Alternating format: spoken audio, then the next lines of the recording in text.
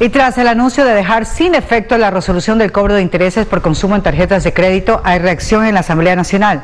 Pero también el secretario de Comunicación, Andrés Michelena, dijo que no se va a tolerar la concentración en otros temas de frecuencias y las que fueron otorgadas de manera temporal y no cumplen también en su objetivo, estas serán revertidas al Estado.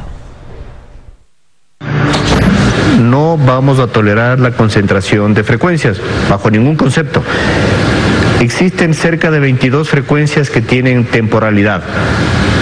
Esto no debe estar en el marco de la ley. La temporalidad que se deba dar a cierta frecuencia debe tener un solo propósito, que tenga sentido de funcionamiento pero en corto plazo.